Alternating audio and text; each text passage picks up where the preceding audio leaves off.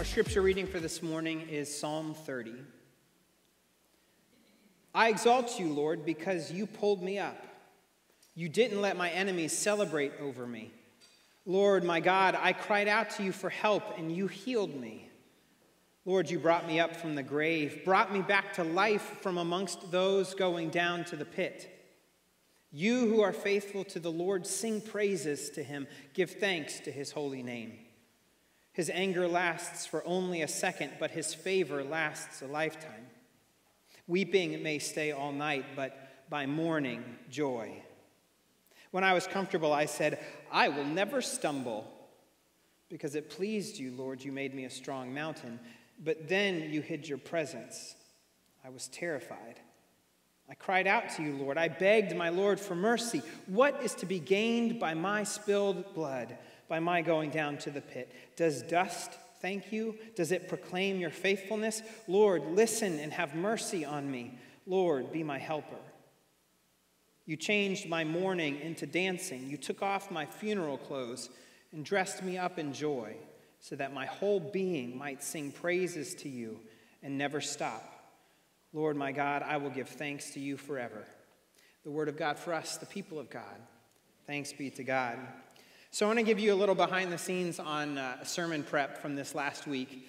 Uh, we are drawing to close our Theology of Pop series. And uh, week one, we just had an intro on all of it. And then uh, weeks two and three, Jeremy and I were super confident in our song choices. Uh, for orientation, we did What a Wonderful World. And that was such a great selection because not only did it match the theme and not only did it have an amazing backstory, but it had a deep personal connection for me. Um, and uh, it was just really. Uh, it, felt right for, for that week. And then last week, Jeremy took us uh, into disorientation. And who remembers our song from last week?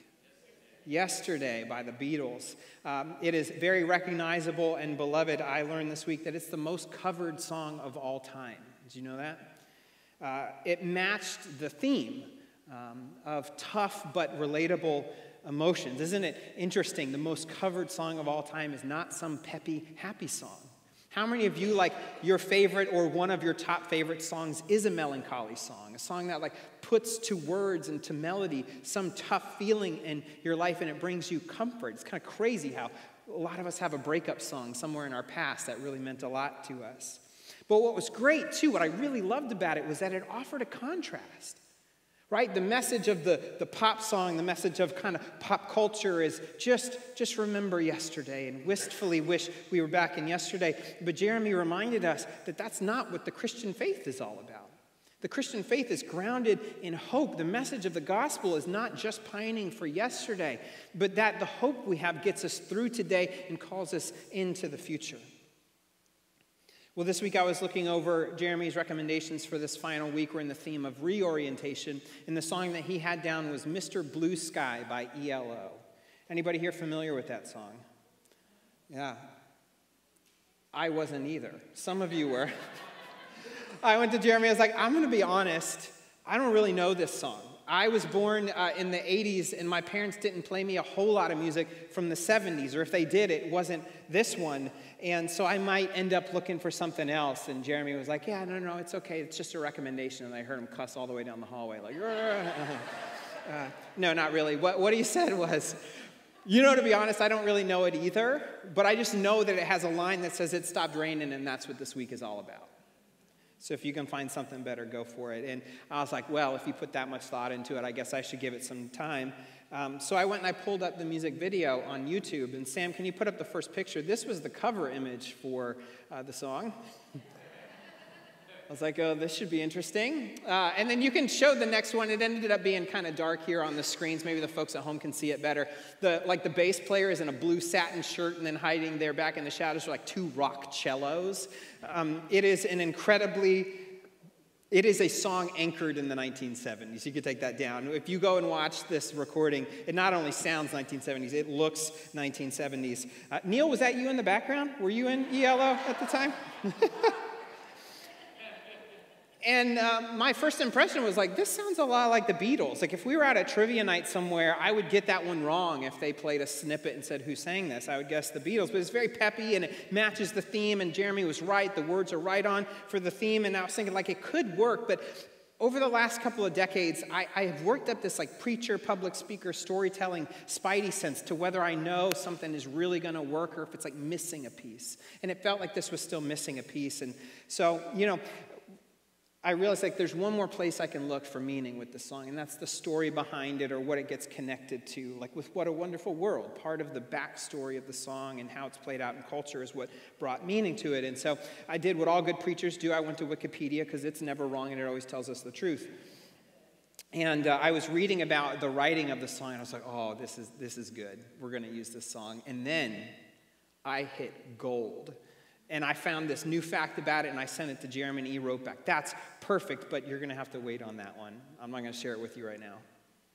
So, uh, ELO, who knows what ELO stands for? Any 1970s? Yeah. Electric Light Orchestra, right. Yeah, it was founded in 1970 by three guys in England. And here's what I find so hilarious. Uh, Felix, you'll feel my pain. They're described as being formed by two multi instrumentalists and a drummer.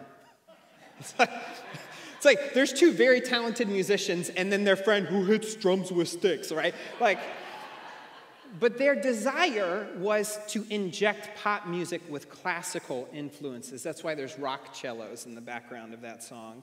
Um, although the real funny song, sound in there goes clang, clang, clang, it sounds like it was a fire extinguisher. They were hitting fire extinguishers in the studio. But um, within two years, one of the two talented musicians left.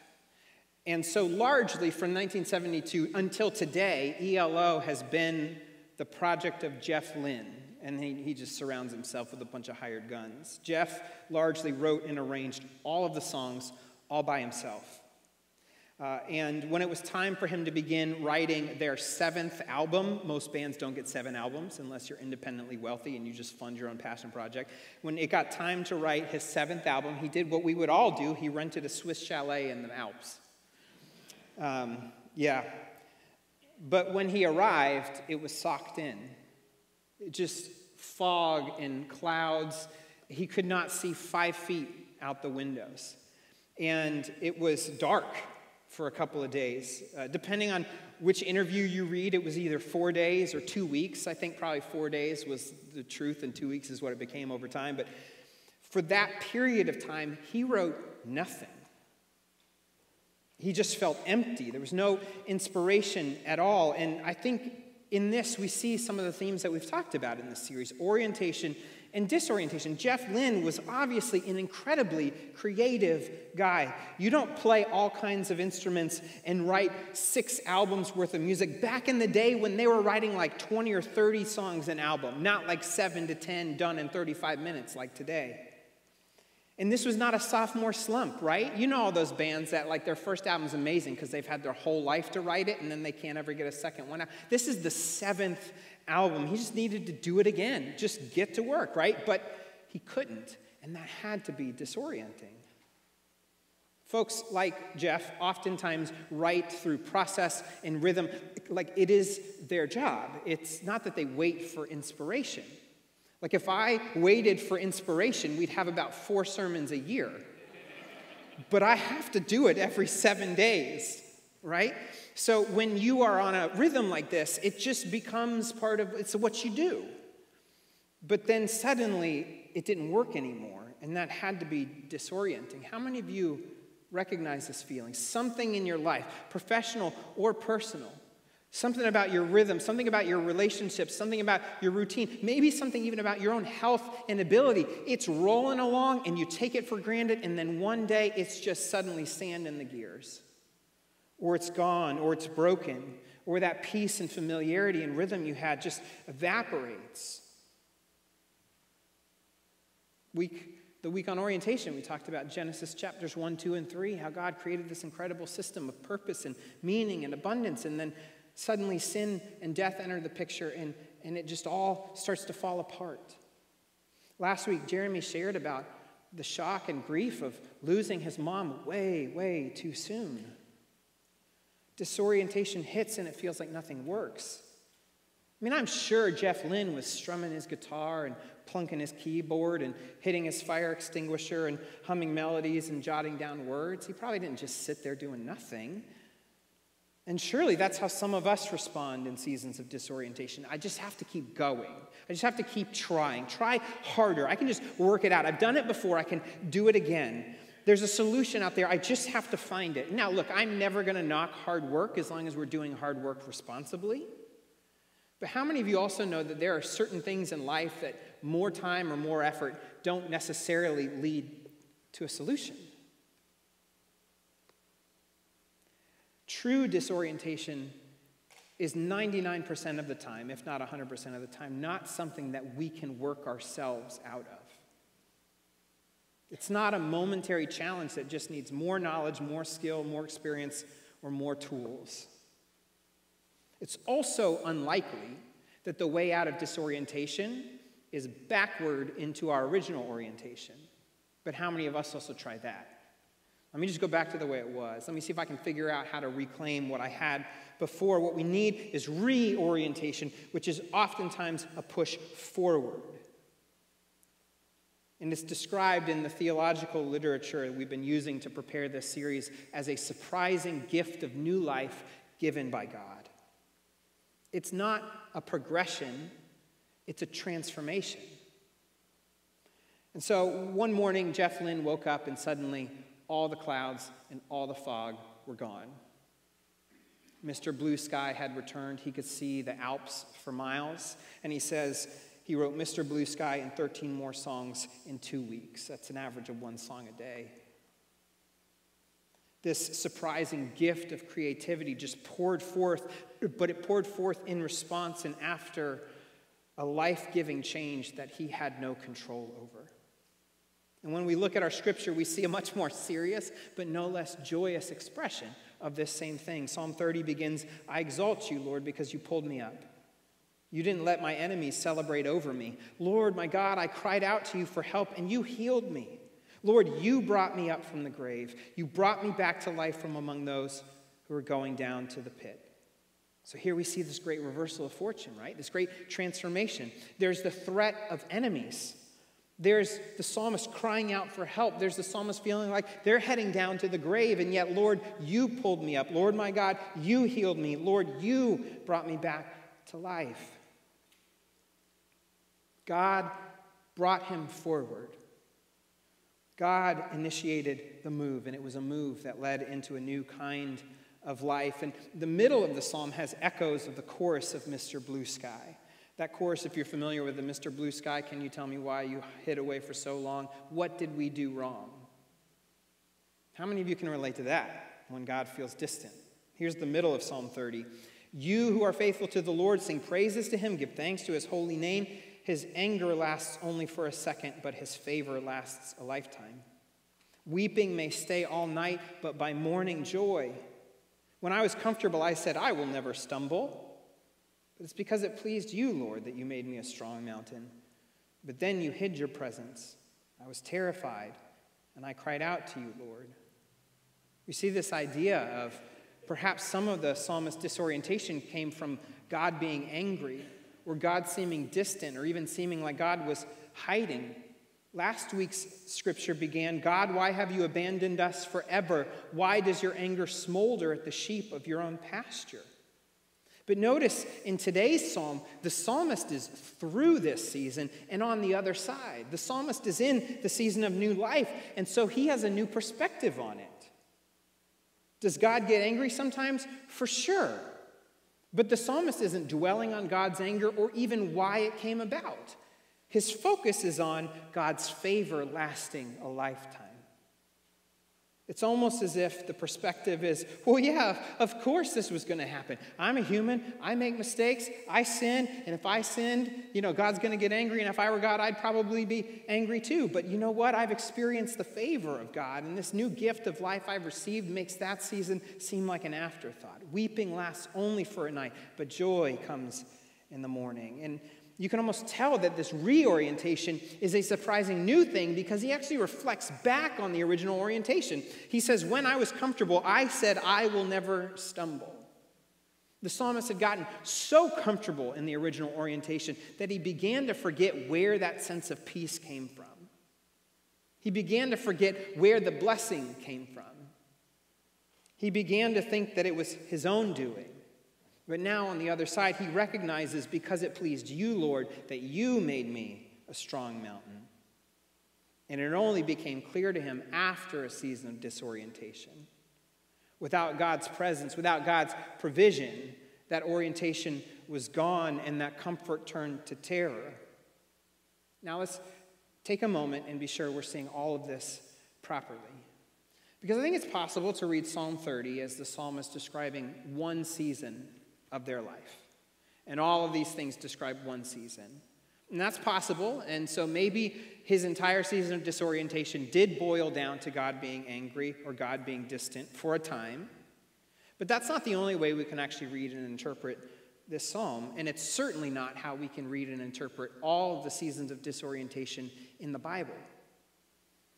We can read Psalm 30 as actually a list of different ways we can experience disorientation. Did you notice them?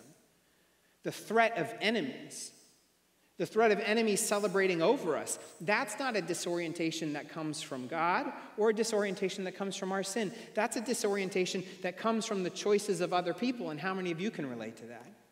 How many of you have struggled or suffered or been through pain or grief because of the choices other people made over which you had no control or input? The psalmist talks of a need for healing. How many of you have ever entered a season of disorientation that came with a sickness, an illness, an injury, a disability that came out of nowhere? He says, being brought back to life from among those going down to the pit. And that could mean serious illness or injury. But he also could be referring to the fact that the wages of sin are death. And so maybe he was going through a period of time where he was being influenced and surrounded and joining in with people who were opposed to God or doing things not God's way. And here God would be justified in the anger and disappointment. And then there was also, too, the misattribution of God's blessings, the sense of pride and self centeredness that I'm making all of these good things happen. And so, if we think we're the source of all the good things in our life, when things start to go wrong, we have the temptation to just put it back on ourselves. Well, I just need to try harder. I need to figure it out. Well, if we're following our own way, it shouldn't be surprising that there may be some distance between us and God. So often, what looks like punishment in the Bible or what feels like punishment in our own lives, a good bit of the time, that is actually God letting us have our way. You want to trust yourself? You want to make it happen for yourself? Okay, let's try that. I'll back away for a little bit, let you do it. You want to be in the driver's seat? Okay, I'll hop into the passenger seat. I'll still be in the car with you, but yeah, you go ahead and do it. We'll turn the maps off, see if you can get where you're going. It's like the old Dr. Phil thing. How's that working for you? I know the people who work from home and have daytime TV on. And then, of course, when we do stray into sin, and we make intentional choices not to follow God's way, I feel like we should expect God's disappointment and anger. And as much as we want to cut ourselves slack because we might fear the consequences of sin, I think we should all want a God that cares about sin and cares about holiness. And even if that's not what we want, that's the picture we get in the Bible a God who would come to be with us and to go to and through death in order to remove sin. That God is, of course, going to be disappointed when we choose to give ourselves back over to sin and death. Another biblical narrative that maps orientation, disorientation, reorientation is the book of Job. Job is described as a righteous man. It doesn't mean he never sins and never makes a mistake, but it means that when he does so, he figures it out, he confesses it, he does what's needed to get back in right relationship with God.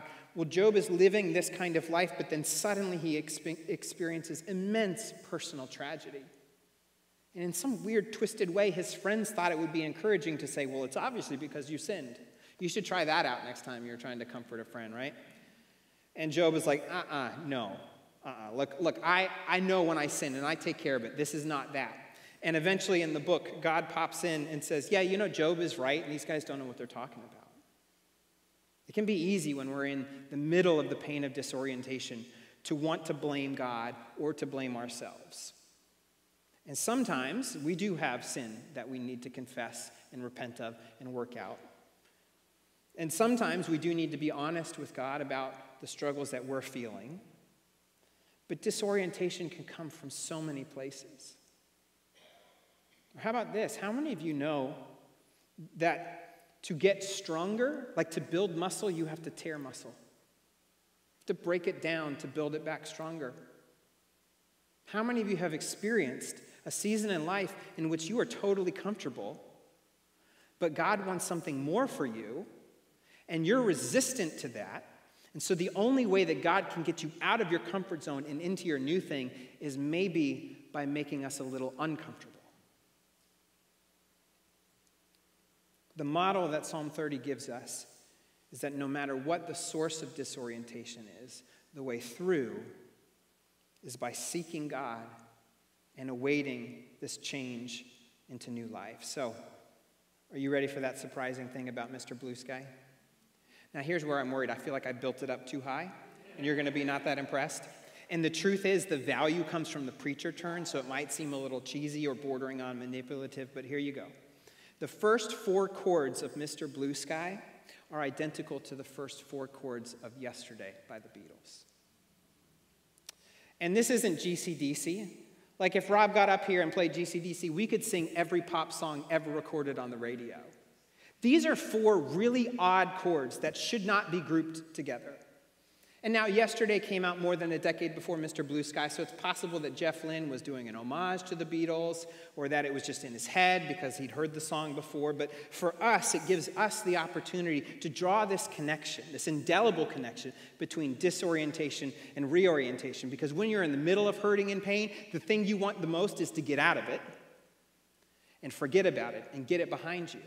And even though reorientation is not about going back to orientation and it is about getting out of disorientation, they are not disconnected.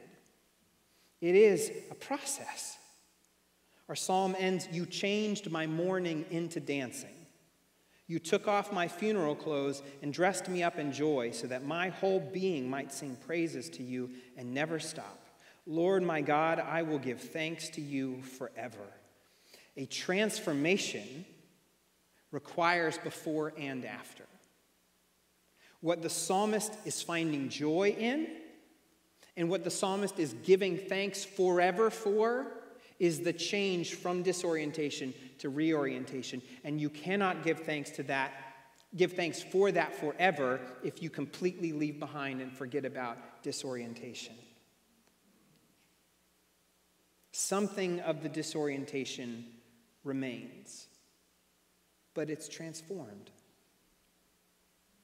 It makes me think of that famous phrase from Philippians the peace that passes all understanding. Have you heard that before?